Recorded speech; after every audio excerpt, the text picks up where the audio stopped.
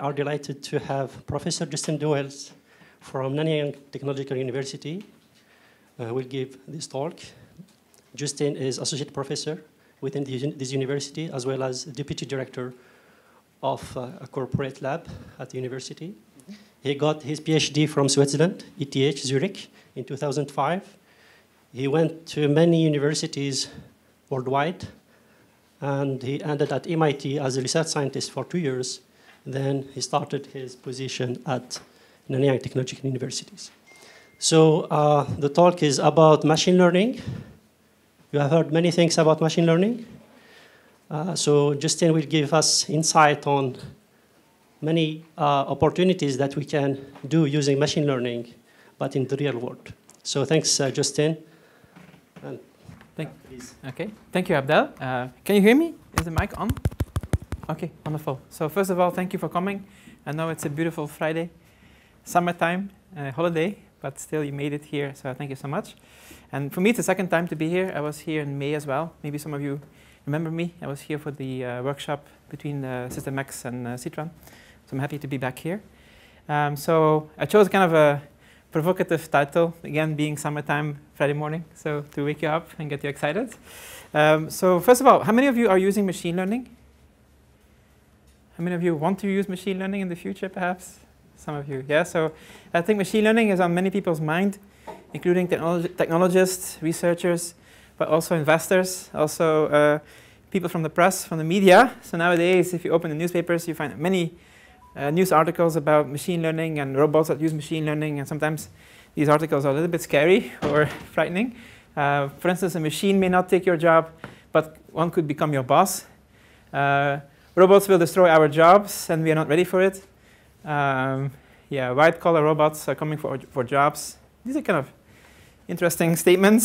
Some of them might be true, maybe some not. So have you seen this before? That's the so-called Gartner hype cycle. So many technologies, when they are introduced, um, uh, gather uh, uh, high expectations, sometimes uh, overblown, over, over no, optimistic expectations. Then people start to realize that the technology will not solve all the problems. So people get a bit uh, disappointed. Then people improve, or companies improve technology, and then gradually maybe it, it will be uh, um, used and commercialized. So you have typically such a cycle. It's not really scientifically proven, but it's kind of true, I guess. Now guess where deep learning is and machine learning is? Right at the peak. Yeah?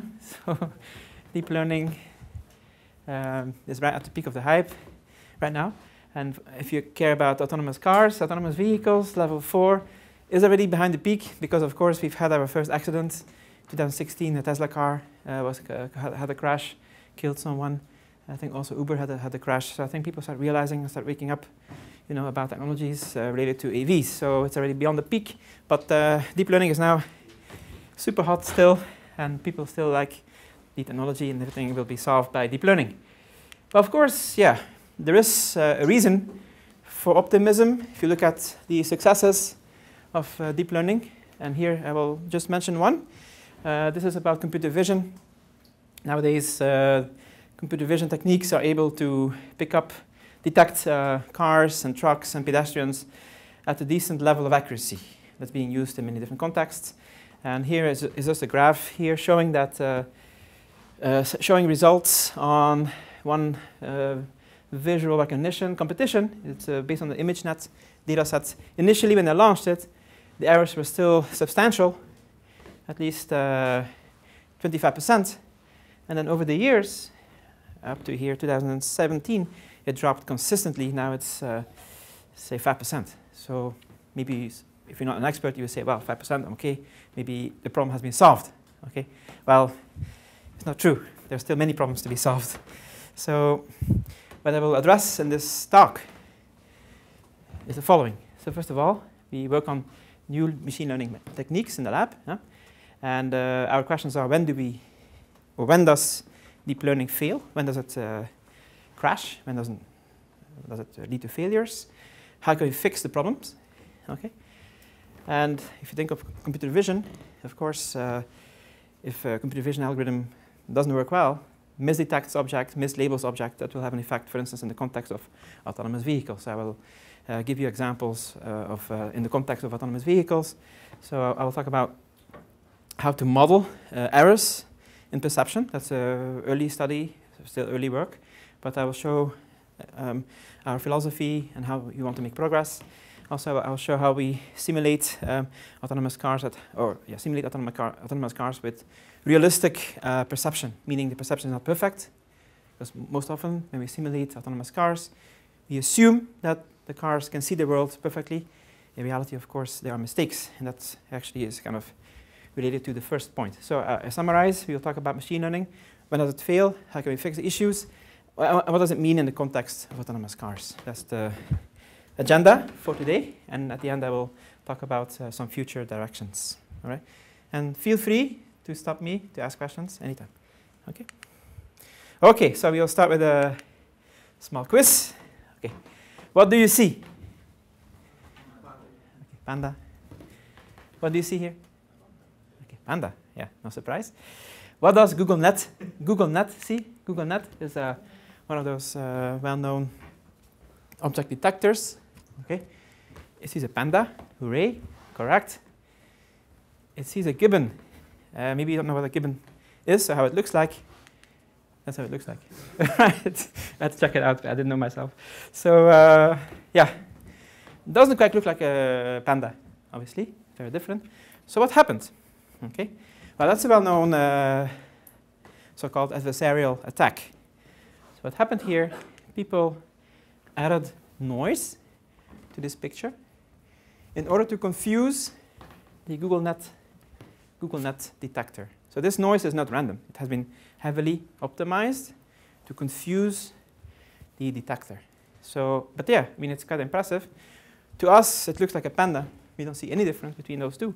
But for a machine, this is totally different.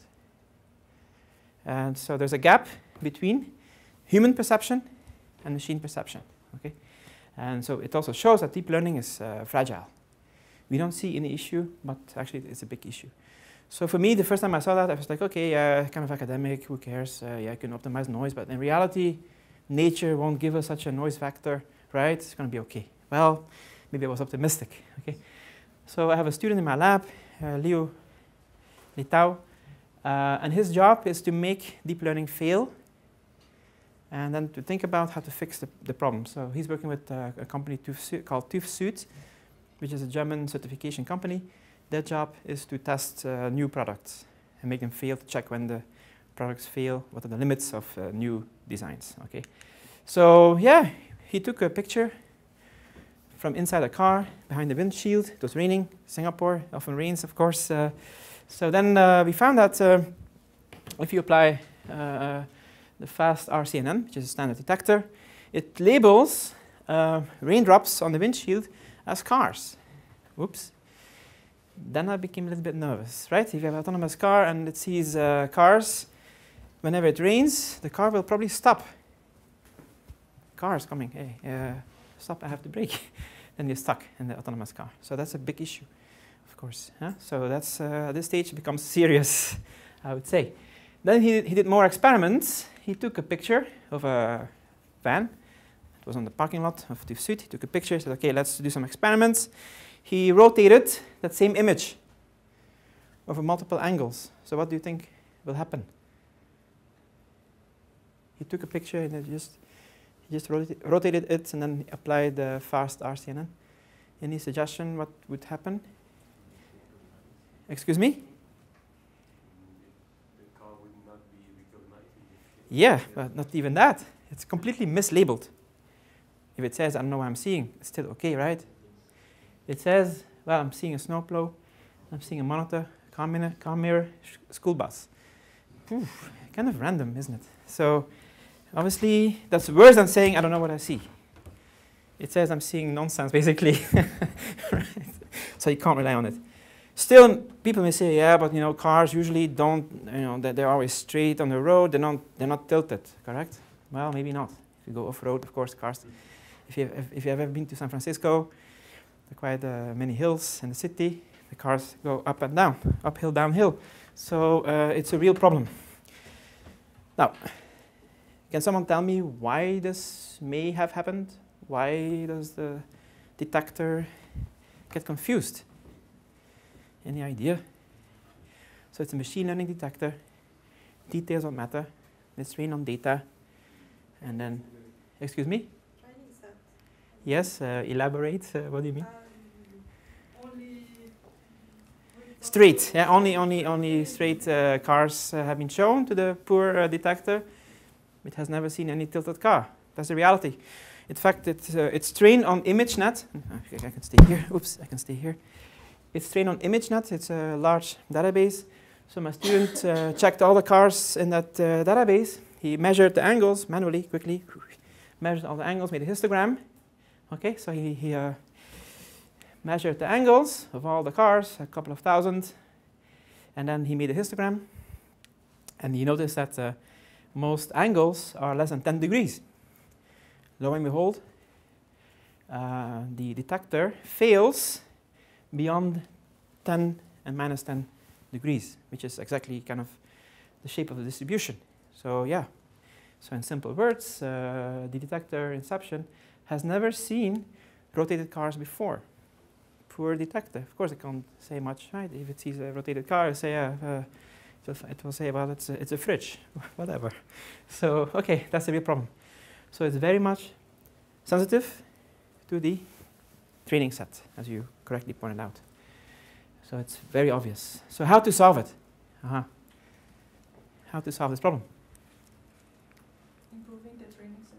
Yeah, uh, but imagine in real life, uh, things don't just rotate. If you think of autonomous cars, they can be driving in the snow and rain. It can be, uh, it can be lightning. It can be, it can be dusty. So imagine all the possible transformations that could happen. And for each of those, you have to create a new data set. Training, uh, tra like uh, you have to add raindrops to your images. You have to add some maybe snowflakes, and you have to add some dust particles. And I mean, if you have to imagine all the possible conditions, and for each of those conditions you have to create data, you'll be very busy. So yes, you could rotate and, and crop. Let me show. I take one of my favorite pictures here. You can rotate the picture and crop it and cut some parts, and that's it. Can, can be done. But does the algorithm actually learn anything? Does it become smarter? Did, it learn about the world? Not really. It's still the same old CNN train on more data, but it doesn't know that. It, it, wouldn't say that, okay, that's a cat that's rotated. Maybe it's climbing up on, on, on, on, the stairs. It doesn't know. It just says cat. If the cat's like this, the cat's like that, cat like this, or it doesn't matter. It always says cat. So it didn't learn anything about real life, about what cats do. It's still equally dumb. Okay? so yes, it has, it, it has become more robust, and I will show you results if you augment the data set, it will become more robust. It will detect uh, cats under different conditions, but it doesn't know that cats can walk on the stairs or run somewhere behind a ball, whatever. So it's still the same CNN. So that's not necessarily the best approach. It works if you know the transformations in advance. What I'm suggesting, however, is to kind of augment the model. Not augment the data, but augment the model. So add some variables, some neurons, into your model, the CNN in this case, can be, can be any, any kind of model. Uh, and specifically, you would like to add physical variables. So you have the millions of, maybe billions of neurons, I mean neuron, neurons, uh, synapses, the weights, and you add some physical variables which make sense, which you can interpret. For instance, could be rotation angle, could be scaling. So once you have the model, and I will say more about that in a, in a minute, once you have such model, you can actually simulate, draw samples from the model, to simulate uh, and samples, uh, get samples from, say, for instance, it would be a train on, on the MNIST uh, dataset. It would create digits, but it would also rotate images by itself. Because rotation is part of its language. It would know that things can be rotated, things can be scaled, things can be skewed. So it knows internally that that's how the world operates. You can see cars that are rotated. Okay, that's the idea. So we add physical variables, variables in the model, and um, yeah, particularly, we have uh, included a affine matrix, which is a combination of rotation, skew, and zoom, so scaling. So we have this matrix in the system with three parameters which can be learned from, um, from the image. Yeah? So it, it detects an object, say a cat, It will tell you, okay, that's a scale, that's an angle, that's a skew. So it provides actually more information. It doesn't say it's a cat. It says, okay, that, these are the variables, the physical variables of the cat. It actually becomes a little bit more intelligent. Still kind of dumb maybe, but a little bit more intelligent. Because it can interpret the scene, it can interpret the physical world. So a little bit of philosophy. I think it's possible to do, talk about philosophy in France. Uh, people like. So there are actually two different communities, two different uh, engineering mindsets. One is the world of statistical signal processing. Think of radar, think of communications, where you can design the signals, you can design the pulses, and the world is easy. You can apply, you know, it's Maxwell equations, everything is well handled, you can write down linear systems following from Maxwell equations. So what I'm trying to say is that in that context, theta often are physical variables, can be like a delay, can be magnitude of a signal, power, and P is well known. Uh, maybe complicated, but at least you have a handle. You, you know exactly how the pulse shapes look like because you have designed them as an engineer. Or at least you can characterize them, right? So I, I have here put, I put here a picture of a radar design. That's my mind. I mean, that's what I'm thinking about. Actually, that's, that's where I'm coming from myself, from this field. But then you have the other people, machine learning, and they, they think uh, very differently. You know, they, they say, well, uh, it's impossible to apply this kind of philosophy to, to modeling uh, images like digits because how do you describe a digit, a handwritten digit as a, as a model, as a Gaussian model, Gaussian mixtures? It's too easy, you know, I mean, it's too simple. What they do is they take a model P, which is a function with many parameters, very flexible, millions, maybe billions of parameters, very flexible, and it can fit to all kinds of data, including such images. So it's a very different philosophy. P, I gave it a different color, is flexible, unknown, just very flexible, can approximate many different functions. And W are the weights. They don't have meaning per se. It's not like a rotation angle or skew. It's, uh, these are just free parameters that we fit. Okay, It's hard to tell exactly what the 50 second uh, weight means. Uh, yeah, uh, just fits data. Okay, so what we try to do here is to merge the two viewpoints. What if you have a model where some of it depends on weights to model parts that we cannot explain or we cannot really model easily by simple models, simple uh, distributions, say digits themselves. And some of it is described by physical parameters. Think of the rotations I mentioned earlier. So you have billions of free parameters, the weights, plus we inject some physical variables to describe transformations in the world. Yeah? So theta and W. And then P, I had blue and red P, P before, now this is purple. P means, in this context, it has some flexible form, plus we have some well-known form, maybe affine transformation. Okay? So some of it... Yeah, so I, I just use the same notation as before, so I actually combine the two. In the new model, the new philosophy, we have theta and w. Theta are the physical variables, w are the free parameters, which, of which there are many. And I have a hybrid p in purple, which has known or known parts and, and oops, and CNN, for instance. So you can change the, this, this parameter during Yes, we, we, we learn this. So you learn this theta on its input. We learn. We yeah. learn. So like uh, if you look at the, if, if you give the system a picture of a cat that, has been rotated, it tells you well that's the it's a cat first of all, and the angle is uh, 30 degrees. So So it uh, learns, uh, it picks up the W's and, and makes a decision on the data, what it sees, and also it uh, learns, it, it infers uh, theta, yeah? physical parameters. Am I still clear? Maybe this is a bit abstract. But these are very different communities. I happen to be part of both, so I understand both philosophies. But I think they're kind of two, at this, at this moment, maybe too diverged, too far apart. Machine learning people don't like to model physics. I would say, maybe I'm wrong. And then people from statistical signal processing don't like machine learning per se. Uh, they like to model everything uh, in a well-defined form. So I think it makes sense to mix both, have both uh, at the same time. So then you would be able to sample from a model P, in this case purple model, hybrid. As I said before, you would have digits, but then they would be rotated, scaled, and so on. They would have been, that you would be able to simulate uh, physical transformations.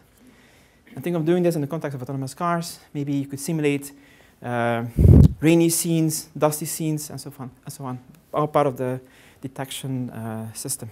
Yeah, that's kind of philosophy. Um, so how do we actually train and build such a system? Uh, it's based on a system or an idea called uh, generative adversarial networks. It's a bit tricky to understand and explain.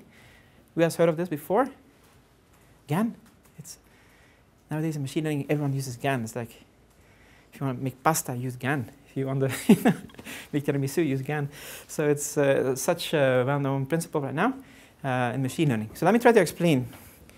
In GAN, so what's the idea? It's to train a uh, neural network. Okay, there are many different ways of doing that. But here it's based on a game, kind of competition. You have the bad boy, bad guy, generator, and the police officer, who is the discriminator. Okay, and think of money, and so real money and fake money. Okay, the generator is trying to create synthetic data that looks as the real data. Okay, so it's creating kind of fake money that looks like real money, and it's really trying hard to make that uh, to make the fakes more and more realistic. Okay, it's being optimized to figure out how the real data looks like, and, and it's making uh, fake uh, similar data points. The police officer, discriminator, gets a sample, okay, and has to tell, okay, yeah, that looks real, or mm, no, uh, that's fake. Okay, over time it's going to get better and better, and it's a game. So the police officer is trying to get better and better at distinguishing fake from real. At the same time, the counterfeiter is trying to fool the police officer, is trying to make the synthetic data as realistic as possible, such that the police officer is more and more confused. He gets confused. Okay, so, have, uh, so yeah, this guy is gonna, he's trying to maximize his decision or improve his decision making. He is trying, he or she is trying to, um, yeah, make the police officer confused. Now, in, in mathematical words, it's a min-max problem, so it's a game, competition. Okay. Uh, so um, you have here the generator and discriminator. Both are neural networks, can be convolutional neural networks. Have you heard of CNN? Who has heard of neural networks? Most of you. I could. I should have maybe have given a, a 10-minute uh, primer on neural networks. I could do it afterwards if you want. okay. Sorry, but now I, yeah, I have to jump into the material itself. This is a, a neural network. So um, it starts with a noise vector, which is random. Okay, it's a seed. It starts from that, and it creates, in this case, fake images. Okay, fake images. The discriminator gets either a training uh, sample, meaning a real image or a fake image. It will pass through this network, blah blah blah blah blah blah blah, blah. and it outputs a label saying that fake, real, fake or real. Yeah, and that's the objective function. It's a bit complicated but min and max. So you see there's this uh, competition going on. Yeah, minimum. So this is the I won't explain details, but this is the success rate of the discriminator. How often did the discriminator correctly tell whether it's true or fake sample? Yeah, and the, of course the discriminator wants to maximize its uh, decision making, its accuracy, whereas the generator is trying to minimize that. It's trying to make the synthetic data almost indistinguishable of the real data so that, so that the uh, discriminator has no chance almost to distinguish both. Okay, am I clear? I know it's a bit tricky. It was quite a revolutionary concept, I would say, in machine learning. It was proposed by Ian Goodfellow in 2014 as part of his PhD thesis at Stanford. Yeah? So this idea initially was great, but it was very hard to make it work in practice because you have a min-max problem. Uh, it doesn't converge easily. But in the meantime, many people have tried this, have, have come up with better recipes to train such system. Okay. Now, I will not go in, into much detail. What do we do? Uh, we inject kind of uh, physical variables in both processes. So uh, when we simulate, when we generate the fakes, we actually rotate, scale, and add skew. Okay, so we have physical variables, and the discriminator has to then tell, okay, it's a fake or real with this and this rotation and, uh, and uh, scaling and so on. Okay, so I will not discuss all details, but that's the, the philosophy. You can very easily in this, in this framework incorporate physical variables. If you were to simulate uh, data from a rainy day, you could add raindrops on the images. You could do other stuff as well as part of the generation process. Yes? Is this uh, supervised learning or no. modern learning? Or? It's actually unsupervised. Yeah. So what it does, it, it, clusters at the same time the digits yeah. and learns, and infers the physical variables. So there's no labeled uh, training set. So that's possible for, for MNIST, MNIST the, the, the uh, data set of digits, handwritten digits. So it's fully unsupervised, which is nice. Yeah, so it, it, yeah, it has enough variables and uh, the system is capable of uh, encoding the physical variables and also to classify, not classify, cluster different digits. Yeah, and it has high performance. I will show you. Okay. Um, yeah, so it's quite similar to the original GAN, but there are a few more terms to regulate the uh, physical uh, parameters. I will not dis discuss details. Actually, I'm not a big fan of GAN. I don't like this approach very much because it's uh, tricky and hard to, it's hard to make it converge. I would prefer personally to apply variational inference, more like a statistical approach where you have estimation set up as an estimation problem. That's something we, we're now working on. But of course, GAN is so popular, my student immediately jumped into GAN and I couldn't stop him anymore. So he had a solution. I'm very happy. I've, I've asked him to look into uh, more classic approaches uh, inspired by statistics. Okay. Okay, so now let me show some results on the MNIST dataset, which has about 60,000 handwritten digits. It was used intensively in the, I think, um, nine, maybe 80s or 90s by Yann LeCun and some of his colleagues. Um, I guess for the U US uh, mail office to detect uh, addresses on envelopes. So they built the first system to detect automatically, uh, to read the handwritten addresses.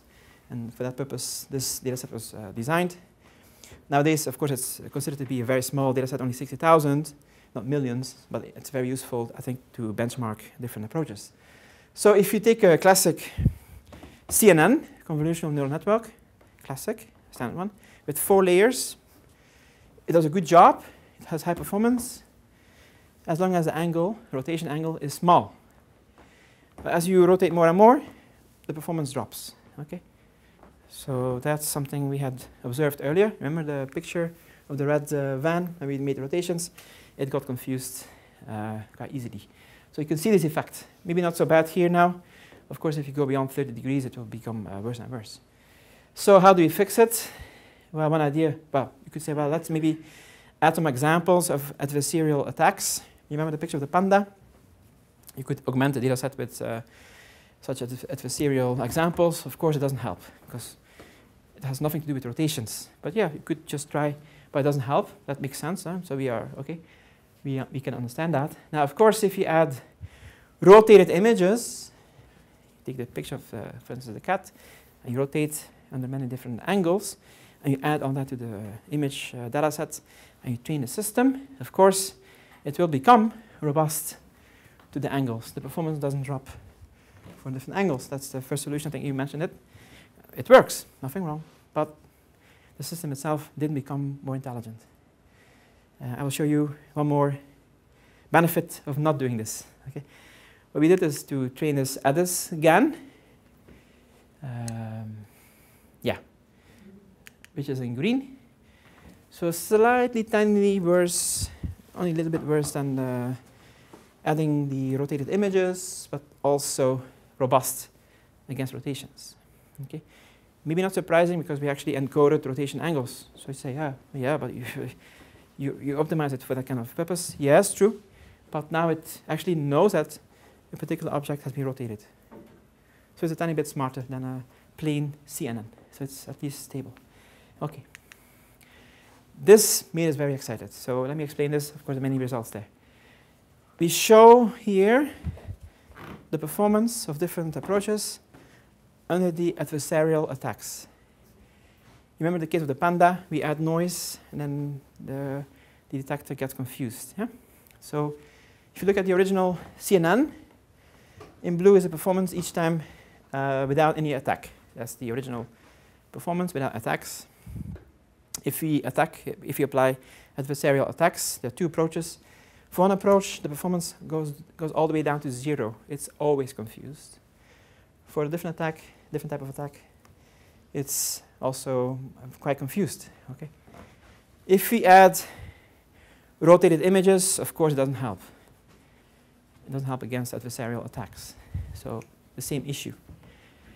If we add adversarial examples in a dataset, if we augment the dataset with examples of the, you know, the uh, pictures with optimized noise, okay, it becomes much more robust. That's good news. Surprisingly, and I didn't expect that, our ADIS-GAN outperforms augmentation against adversarial attacks. We did not design at all the ADIS-GAN um, for the purpose of uh, adversarial attacks. But as a side effect, it becomes robust against adversarial attacks, which we didn't expect.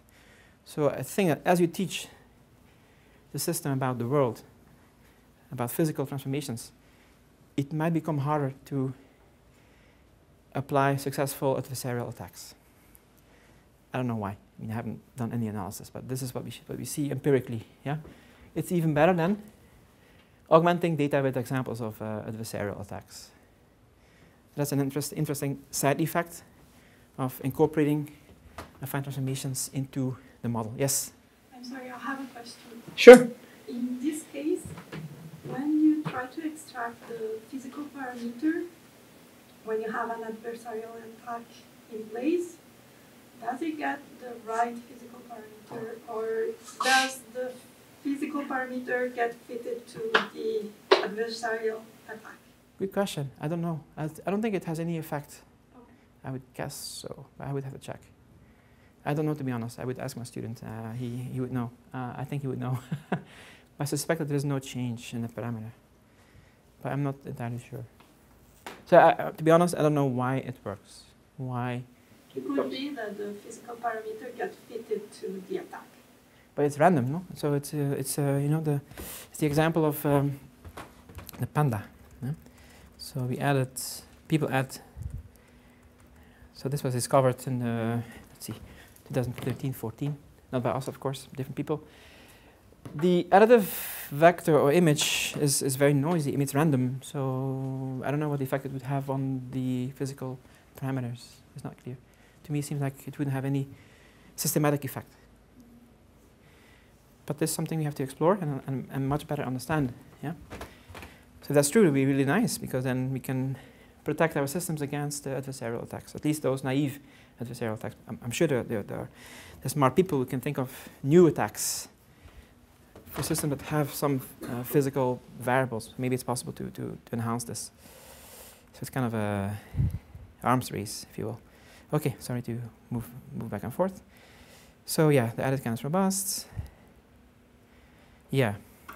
So the ADIS-GAN is robust against adversarial, so against uh, rotations, of course, but also, surprisingly, against adversarial attacks, and that will require some analysis. Yes. I have a question. Sure. Are you using GAN as uh, for the rotation, uh, or uh, as the basic? The GAN is used uh, to, yeah, of course, detect uh, what's in the scene, as in detect the digits, and also det uh, infer the, the rotation angle. No. Ah, no, no. The ADIS-GAN is operating on the original data set, no augmentation. Yeah, so it's, it's an alternative to augmenting data. So the ADIS-GAN is only trained on the original data set. We didn't add anything. Let me repeat. Yeah? So this is the original CNN operating on the original data set. Okay. Here we added data, rotated images. Here we added data, we added uh, adversarial examples. Here we use the original data set. So it's an alternative to augmenting data. That's the idea. Instead of augmenting the data, we are augmenting the model. Am I clear? We're adding, we're adding variables in the model, which I think makes more sense, perhaps. I don't know why. For this case, I don't understand. We will discuss, we will analyze more. This is all recent result, we haven't even published, so, okay. So, summary.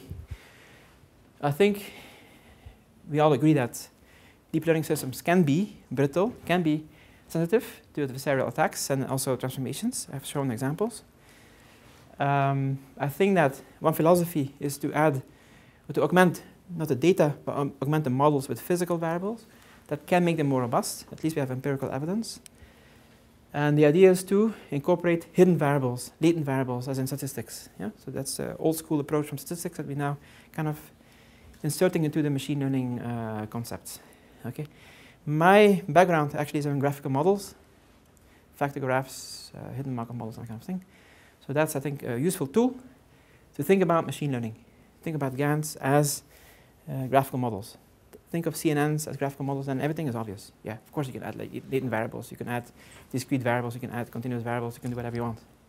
Kind of obvious. Okay. I think that's an interesting pathway towards more robust deep learning systems. Now, so in my lab, we do work a lot on transportation. Uh, one project is, as I just mentioned, explainable AI. That is to make AI more robust by having some explanations. In this case, by injecting, inserting some physical variables. Um, we're also working on predicting uh, traffic conditions by using traffic data, real-time traffic data, also real-time weather data. And that we use them to optimize routes. So having predictions about traffic, traffic conditions and travel time, we try to optimize routes. So it's kind of a merger of machine learning and OR, optimization research. Some more research. These are now already uh, over. So here we did some work on, um, doesn't start,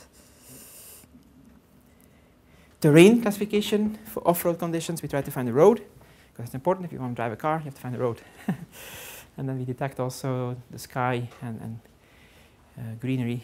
And um, then we also worked on uh, detecting pedestrians, trucks, cars, lane markers. Uh, we, we, developed the systems for SLAM, uh, uh, loop closure, and so on. These are kind of classic techniques, classic questions. but then that's how we kind of became aware of the limitations of deep learning. We found some issues like the raindrops and so on by doing these kind of projects. Here we try to detect the intentions of pedestrians. We try to detect or predict where the pedestrians will be within one second. We try to predict their short-term path. Um, that's also based on deep learning. Uh, just as a brief uh, remark, we actually there have a new deep learning approach where we simultaneously train a system to detect pedestrians and also predict their paths. So we solve two machine learning problems, two problems at the same time. Okay?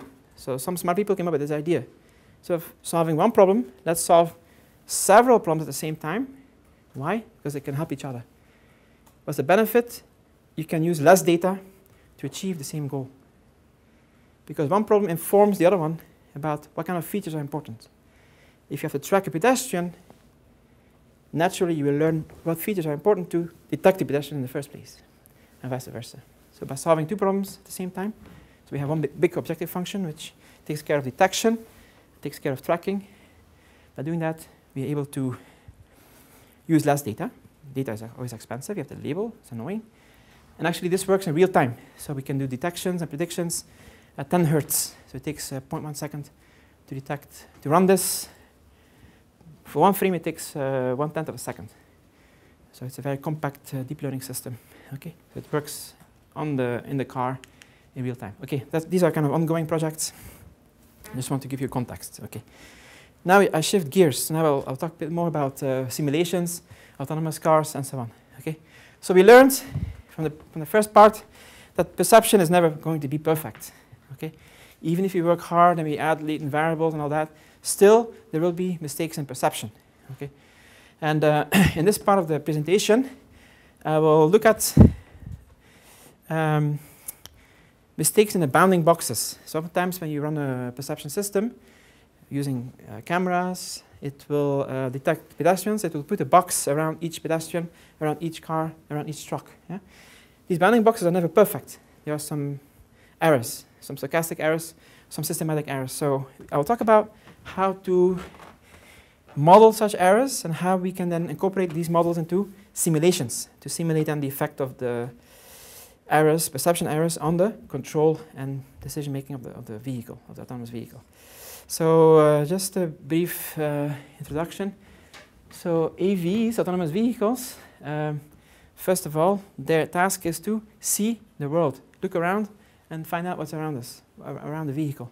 So it senses, it uses sensors to see the world, like LiDAR, radar, cameras, and so on.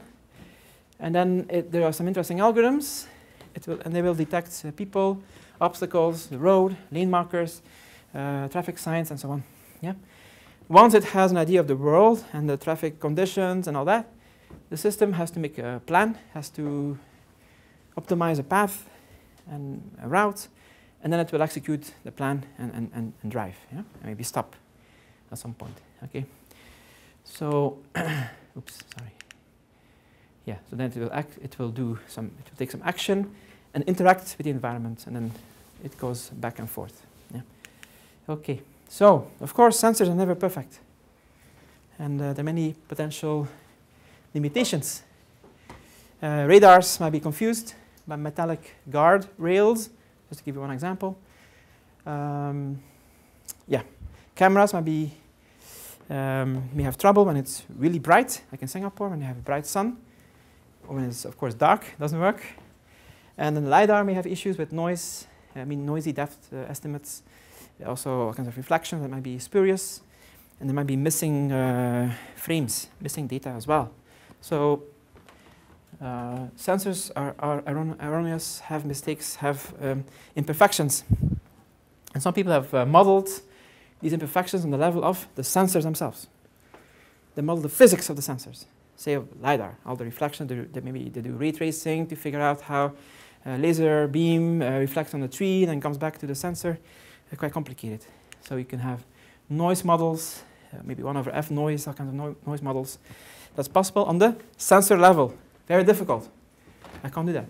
I stay away from this. You have to model uh, radar, LiDAR, different designs. It's very complicated, very tedious. What we do is to model perception errors on the level of, well, perception, not on the level of the sensors, meaning we model errors in the bounding boxes as a first step, which is not on the level of sensors, but already at, at the level of the output of the algorithm, output of the deep learning system. Okay. So what do we do? We build uh, Gaussian Markov models or neural networks that can model the errors over time, dynamics of the errors, and then we incorporate the models into uh, simulations of autonomous vehicles. We run simulations and we can see what the effect is of those errors on path planning and other decisions. Yeah? That's the concept. We are at the beginning of this, of course. We haven't done much work on this, but that's what we want to pursue in the future, and in the near future. And I'll just show you some uh, early examples. Okay, let me try to explain this. Um, I have a pen? No. It's okay. So bounding boxes, I, I, guess you know what it means. I should have had a picture example. So you have an image, and you have bounding boxes around pedestrians. Yeah? And uh, we model the top left corner and bottom right corner. If you have specified both, you have specified the whole bounding box. Yeah? You only have to specify, two corners. Okay. So we model the error in the TL, top left, and the bottom right corner. The error, so it's a stochastic error, it's a stochastic uh, process. What do we do? We have, or we use, we start from a um, existing dataset, the KITTI dataset from Karlsruhe, which has uh, manually labeled, manually labeled uh, bounding boxes. They're not perfect, right? They're done by, created by, by humans. We have been labeling, but we assume that this is the ground truth. And we compare the output of the algorithm to the output of the, well, to the labels in the dataset. Okay. Of course, there is some human error as well, but yeah, that's how it is now. Okay. So the videos are taken under different conditions, sunny conditions, rainy conditions, urban, and so on, highways also. and um, there are some details. It's uh, at 10 hertz, 10 frames per second, and the resolution is uh, quite high. Okay, so again, we model the two corners, top left, bottom right, to be precise, the error in those corners by stochastic models. First, a linear model and nonlinear model, which is a neural network, and we fit those models, and we select, sorry, select the best model. Just to give you an idea, um, I'll show you the traces of the error, the traces. So that's the error over time. The horizontal axis is time, and uh, so basically frames, different frames, consecutive frames, and that's the error in pixels. So the unit here is pixel. In blue, we see the actual error. So it's interesting, it actually fluctuates, kind of random walk, I guess. Well, not really, it's an ARMA model, so it, it doesn't like uh, walk far away from, the, from zero. It uh, fluctuates around zero, uh, but then it can stay high here, and then gradually goes back. Um, and then the model output is somewhat similar, yeah, has similar characteristics, which is what we want. We want to have similar statistics, and that's for linear ARMA, and that is now for the nonlinear model. If you look closely, you can see it's slightly better. It can handle also kind of the peaks, the outliers, a bit better. How do we compare? So how do you compare models? Any idea? If you have five models, you want, you want to take the best one. You have a linear model, nonlinear model, so on. How do you compare models? Any idea? What are the keywords, the key approaches? Hmm? Uh, yeah, but no. Say you have models with different number of parameters. One model has 10 parameters, a different model has 10 million parameters. How can I compare models fairly? The score. The score. What is the metric? Of course, the best one. Best. Correlation, distance. Score, score. What kind of score? Akaike. You know Akaike? The one in the early days.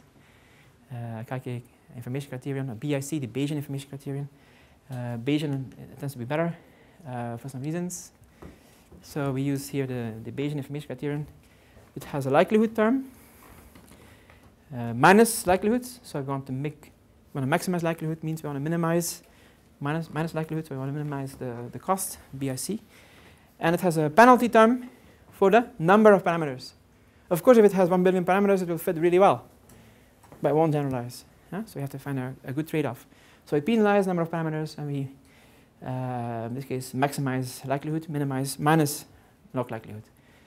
And if you look, look it up, if you work it out, this is the expression then for, I think, the ARMA model, or the nonlinear model for ARMA. Yeah, so that's for ARMA, that's for nonlinear model. So these are the terms, you can compare, you can compute them, compare them, and that's what you find.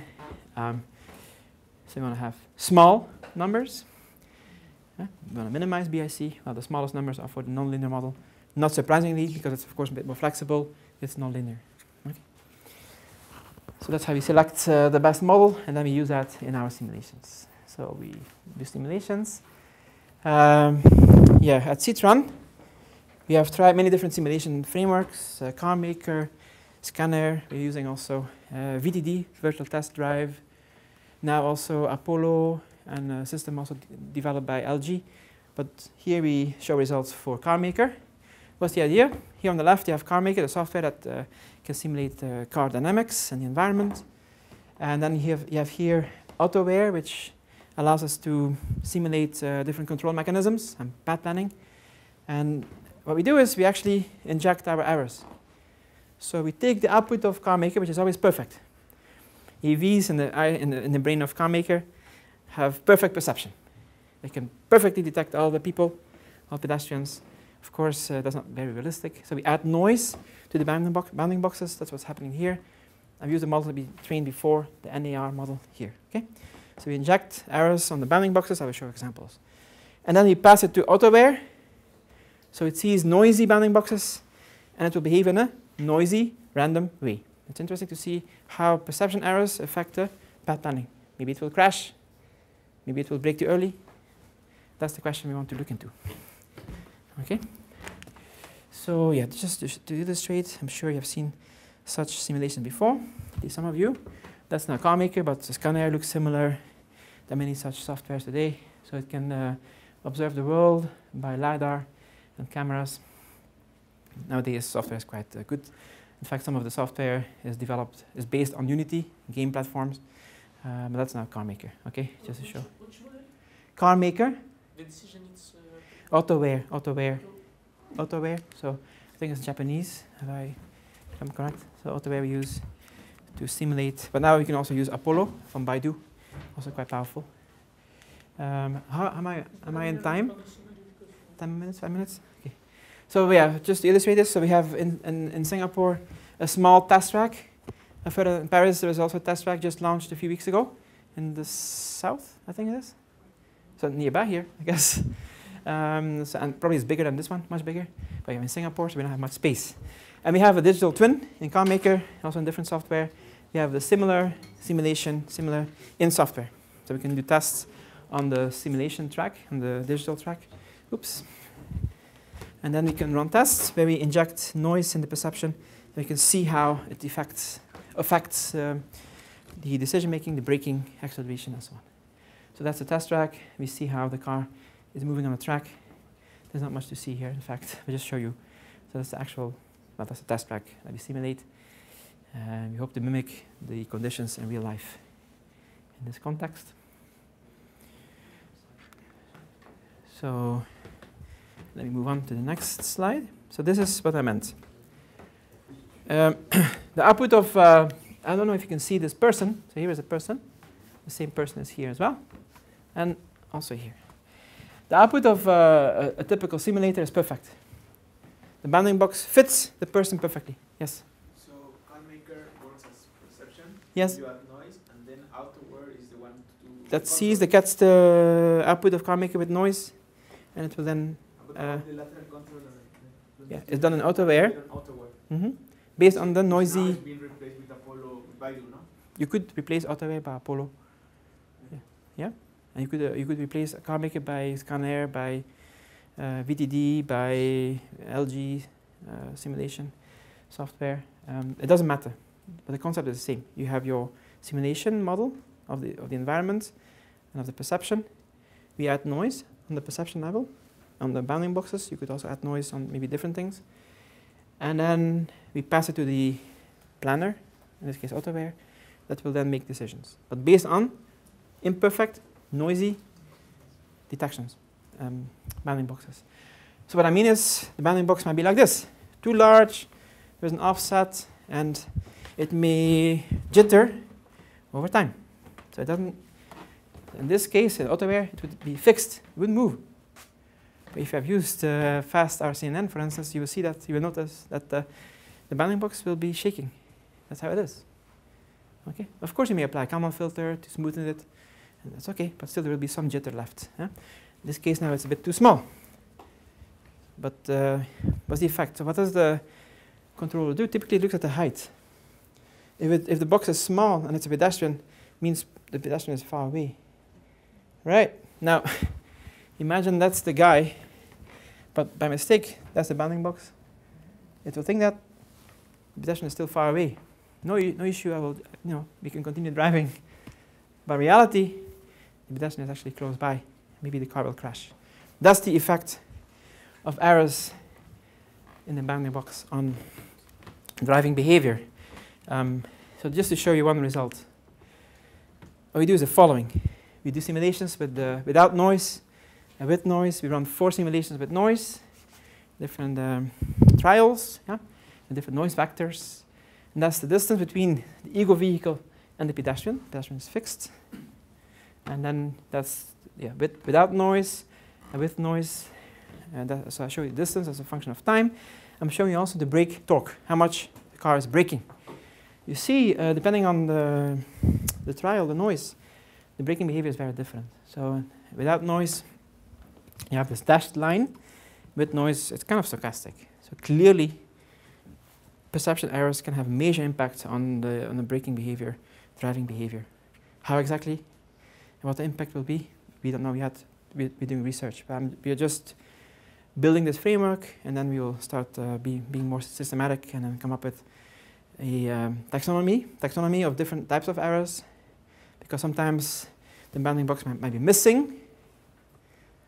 Or it may be at the wrong place, as in it may detect a phantom as a false positive, may happen. So it's not just about having drift or, or uh, shaking, uh, jittery bounding boxes, also about missing bounding boxes or extra bounding boxes also can, can, can affect uh, behavior. Yeah, so that's still early, early day, I would say, for this kind of research. Um, so in summary, oh, is it? Yeah, so yeah, in summary, um, yeah, the perceived distance might be incorrect because of, the because of the random errors in the bounding boxes. As a result, the behavior of the car might be uh, wrong. Um, erroneous, there might be erroneous behavior, and it would be interesting to see what happens in more complex traffic environments. Think of Paris, downtown Paris, uh, we have pedestrians, bikes, motorbikes, cars all over the place, and then easily there might be uh, issues like crashes in such environment. So, in conclusions, well, I think I discussed all this. So we want to model imperfections in perception by statistical models on the level of perception, not the level of uh, sensors. Yeah? So it's functional simulation. And that will lead to more realistic models of bounding boxes, and then we can see also the effect of that on the driving behavior. And that's it. Thank you very much.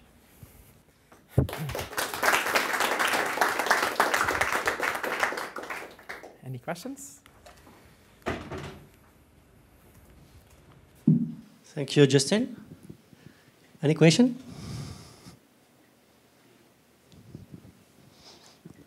So is machine learning still hype for you, And now you see uh, there is reality?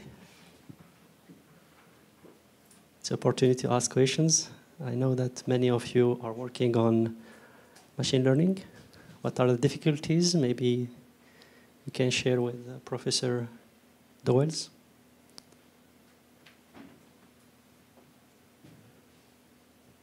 I don't know if the EP team can share about the EP project as well.